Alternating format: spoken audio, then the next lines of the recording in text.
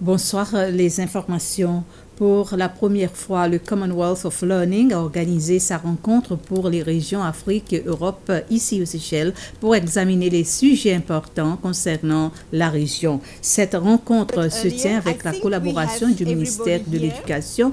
Le Commonwealth of Learning s'occupe de la promotion et du développement de l'éducation pour l'apprentissage à distance ou le téléenseignement. Son objectif, c'est de promouvoir l'apprentissage pour un développement durable. Tous les trois ans, le Commonwealth of Learning organise une telle rencontre dans un des pays d'Afrique ou de la Méditerranée membres du Commonwealth.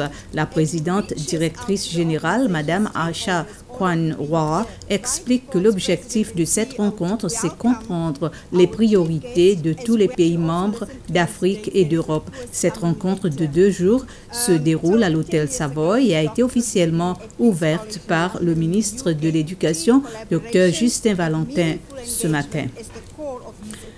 Environ 250 élèves doivent débuter leur première année à l'Académie du tourisme. Ils ont été accueillis par l'administration de cette institution ce matin.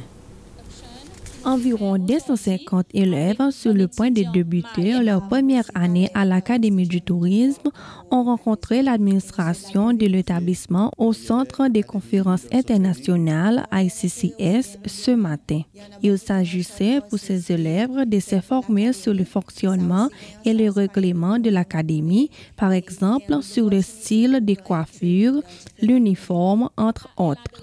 Ensuite, dans l'après-midi, ces élèves accompagnés d'un parent ou d'un tuteur ont pu s'inscrire au cours de leur choix.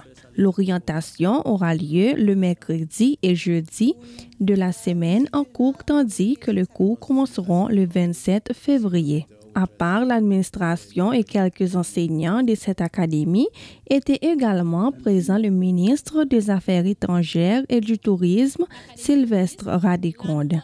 Il a félicité les entrants pour leur choix, les encourageant à faire carrière dans l'industrie du tourisme.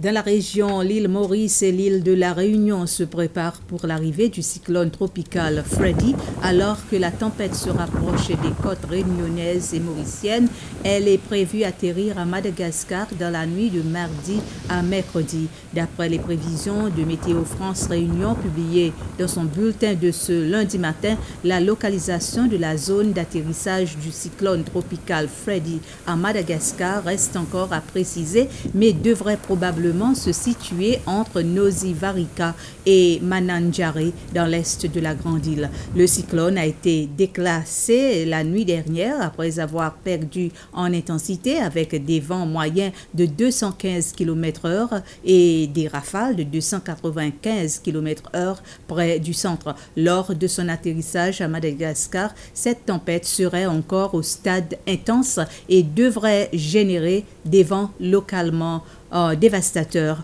une montée importante de la marée et des risques d'inondation côtière élevés sont également à craindre. Ainsi s'achève ce résumé d'informations. Merci de votre attention.